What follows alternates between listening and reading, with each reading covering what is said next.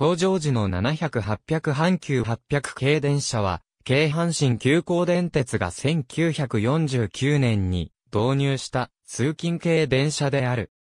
920系に続く神戸専用車両で当初は700系として竣工した。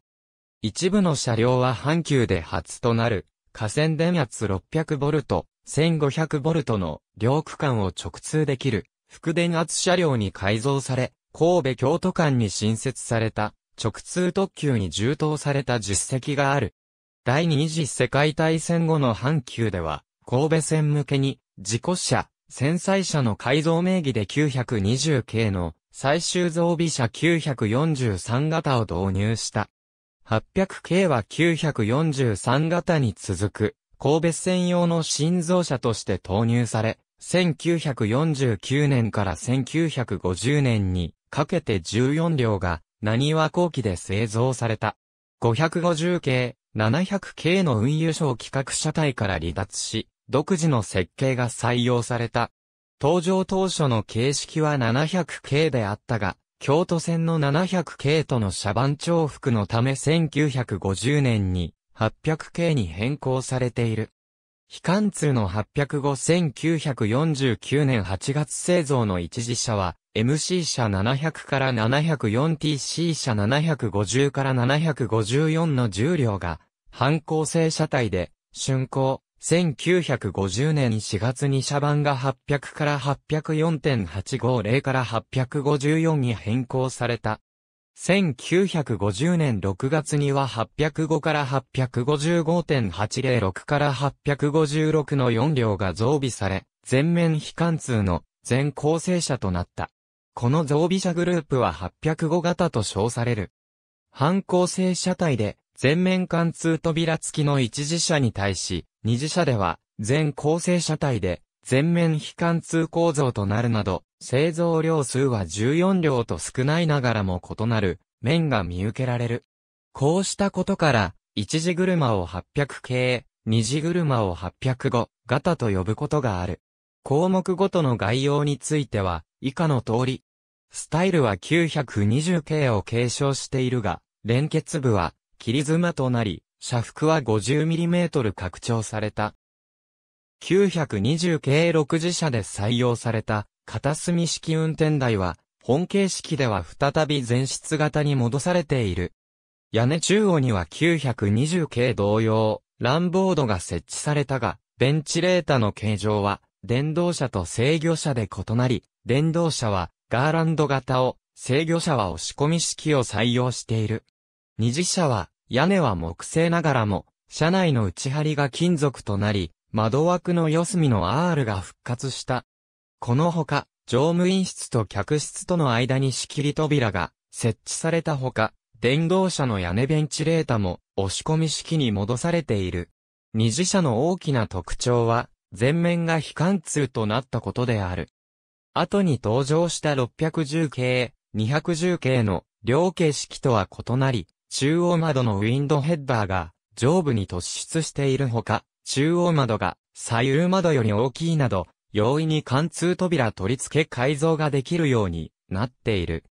二次車の正面非貫通構造については、当時流行の国鉄の湘南型への迎合の現れであるとの考察がなされている。台車及び伝送機器は920系と同一ないしは同等のものを使用することとなった。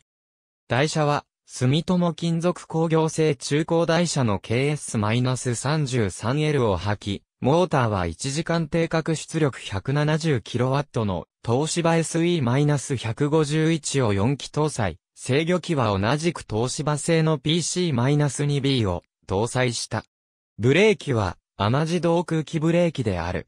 したがって920系と同一グループとしての運用が可能であり、最終期に至るまで920系と共通運用されることが多かった。アメリカ白塗装が施された800系の模型系阪神急行電鉄は1949年12月1日に京阪電気鉄道を分離したが、その直後の12月3日より神戸京都間を結ぶ直通特急の運転を開始した。1948年末に神戸港に寄港した外国人観光客から京都への直通運転を要望されたことが直通運転のきっかけとなり、1949年11月に申請感もない702から752.703から753の2編成が西宮車庫で 600V、1500V の副電圧使用車に改造された。直通特急は神戸京都間を70分で走り、神戸線と京都線が一体であるとのアピールも図られた。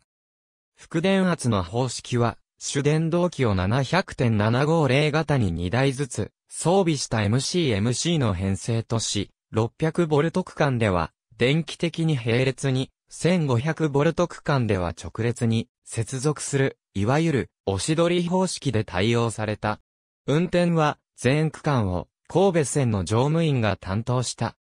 また、750型には神戸線所属車では初の電動発電機を装備し、低圧の補助電源を確保したほか、主回路並びに高圧補助機器の電圧切り替えを行うための電圧転換器を装備した。電圧切り替えは13駅京都側に無電圧区間を設け、13駅停車中に乗務員が駅長から電圧切り替えハンドルを受け取って切り替え操作を行った。このハンドルは 600V 用と 1500V 用の2種類があって、穴の形状も前者が三角、後者が四角であり、運転台の電圧表示灯のハンドル操作によって、600V では赤三角が、1500V では緑四角が点灯した。753のみ、試運転期間中は、サロンルーム的な車内に改造し、リクライニングシートなどを配置していたが、営業開始前に元のロングシートに戻された。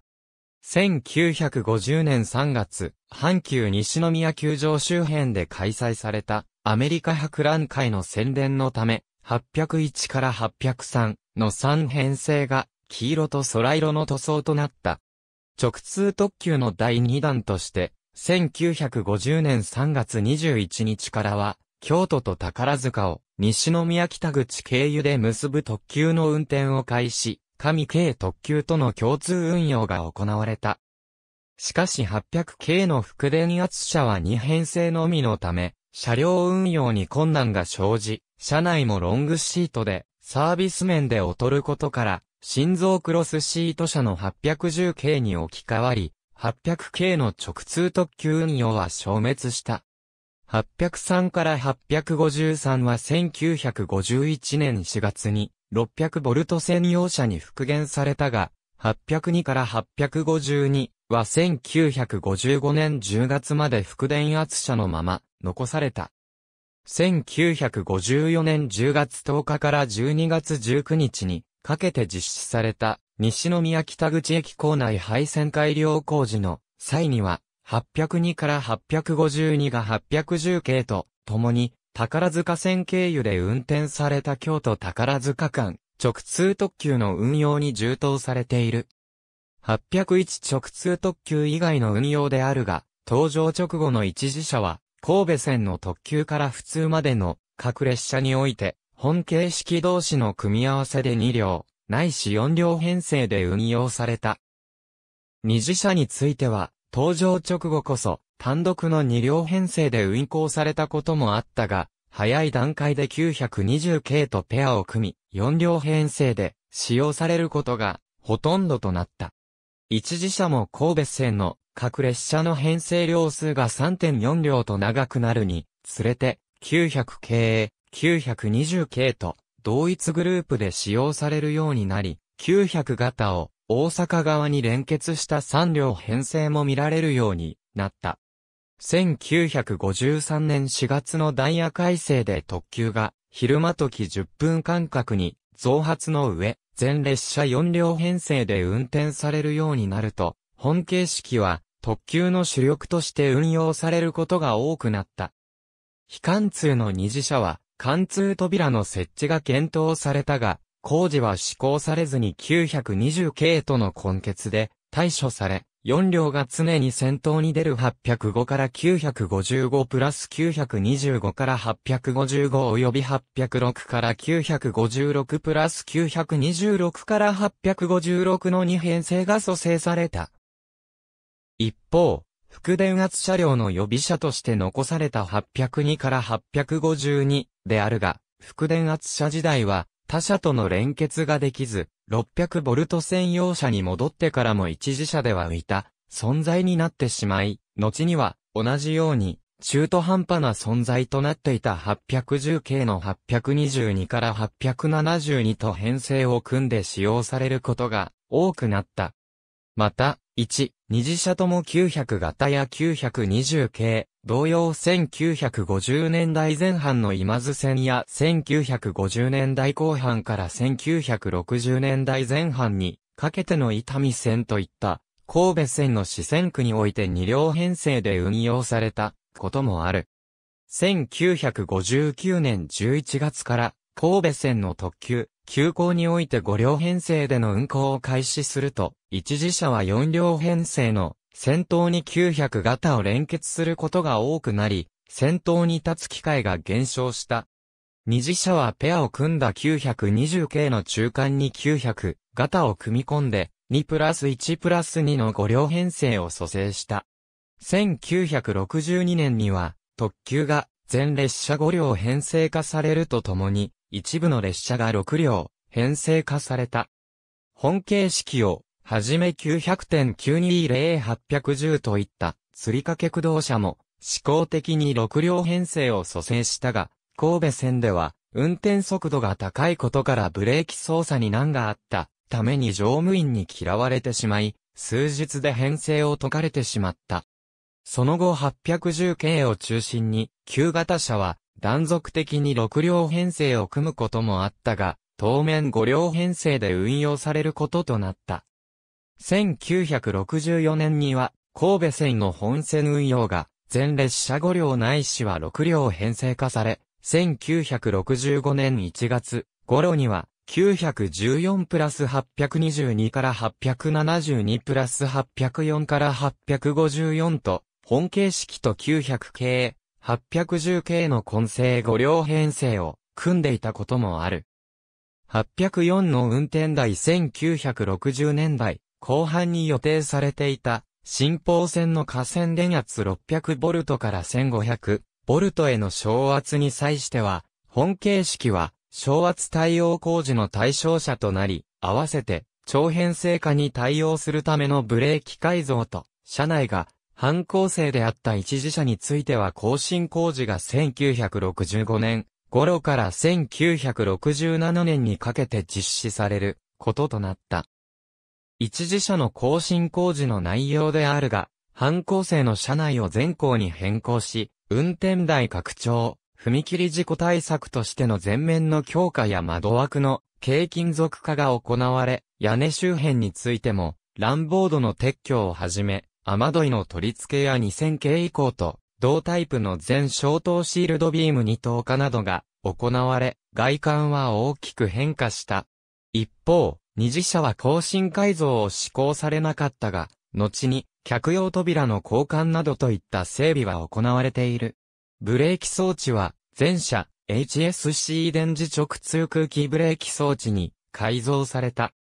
更新改造後、シールドビーム化によって保安面での信頼性が高くなった一次車と、戦闘車以外での使用が困難な二次車が揃った800系は、本線の戦闘車として徴用されることになり、920系や900型を中間に組み込んで6.7両編成の先頭に立つ姿が多く見られた。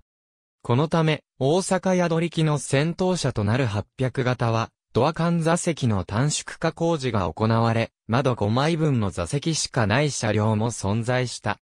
昭圧後の神戸線では釣りかけ駆動車の特急運用がわずかながら残っていたが、1968年4月7日の神戸高速鉄道開業に際して特急全列車の三宮伊勢直通化により消滅、神戸線では三宮折り返しの急行、普通運用が主体となった。宝塚線昇圧の際には、1.2自社どもに宝塚線に転属し、その後神戸線に戻ったものの、一自社の一部は宝塚線でも使用されるようになった。1970年代中頃に入っても、800系は801.804、805.806の各編成が7両編成を組まれて、神戸、宝塚線で、戦闘車として使用されていたが、すでに旧型車の優等列車運用は減少しており、普通運用が主体となった。1976年には二次車の2本が920系と差し替えられて、今津線に転出し、残る一次車2本のうち、804回は1977年春に、900計3両を外して4連化された上で、今津線に転出した。また、宝塚線に残った801回についても、ほぼ同じ頃に4連化されて支線に転出し、本線での運用を終了した。その後は、今津線と美濃線、伊丹線で使用された。1978年、未更新の二次車より廃車が始まり、1978年4月20日付で806から856、1979年3月31日付で805から855が廃車された。残った一次車は、新たに紅葉線において3両編成で運用を開始されたが、1981年から廃車が開始され、1982年3月の紅葉線での運用を最後に、同線で運用されていた920系943938973の3両編成とともに運用終了し、廃車、系列消滅した。804の運転台部分のみ、1981年4月より、宝塚ファミリーランド内の電車館に展示されたが、閉園後は、小弱工場に保管されている。ありがとうございます。